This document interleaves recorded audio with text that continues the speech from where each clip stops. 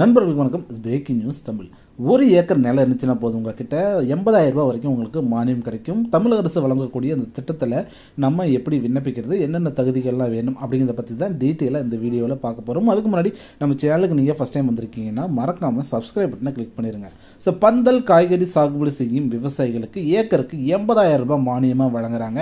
இந்த மானியத்தை எப்படி பெறுறது இதுக்கான தகுதிகள்லாம் என்னென்ன அப்படிங்கிறத பற்றி இனி டீட்டெயிலாக பார்க்கலாம்.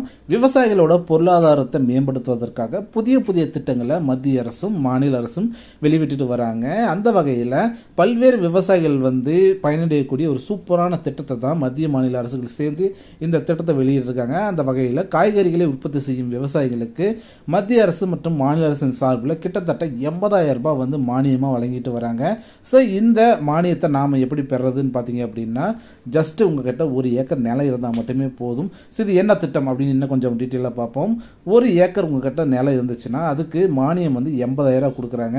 எதுக்காகன்னு பார்த்தீங்க அப்படின்னா தோட்டக்கலைத்துறையின் சார்பாக நீங்கள் பீக்கங்காய் புடலங்காய் பாகக்காய் சுரக்காய் அவரக்காய் போன்ற கொடி வகையான காய்கறிகளை எல்லாம் நீங்கள் பந்தல் போட்டு சாகுபடி செய்யக்கூடிய ஒரு நபராக இருக்கீங்க. இல்லை விருப்பப்படுறீங்க இல்லை ட்ரை பண்ண போகிறீங்க இப்படி எதுவாக இருந்தாலும் சரி உங்களுக்கு எண்பதாயிரம் ரூபாய் உங்களுக்கு மானியமாக கிடைக்கும். இதுக்கு தேவையானது ஒன்றே ஒன்று தான் உங்ககிட்ட ஒரு ஏக்கர் நிலம் இருக்கணும் அது உங்களுடைய சொந்த நிலமாக இருக்கணும். ஸோ இந்த மானியத்தை நீங்கள் வாங்கணும்னு நினச்சிங்க அப்படின்னா நீங்கள் ஜஸ்ட் பண்ண வேண்டியது ஒன்றே ஒன்று தான் உங்களுடைய சிட்டா அடங்கல் வரைபடம் மற்றும் விஏஓ சான்று.